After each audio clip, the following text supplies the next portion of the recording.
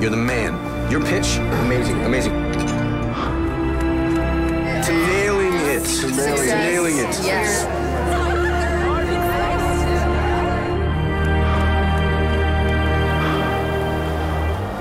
How'd it go last night? Good night. Uh-huh. Let's do it again tonight. And my sister's playing downtown somewhere. Can I stay for a few days? You're so angry. That's my boss. Hey, do you want to play? Your hard drive is filthy. I mean, it is dirty. Slowly. I'm trying to help you. How are you helping me, huh? You come in here and you're a weight on me. You're a burden. You want to get out of here? I could take you somewhere.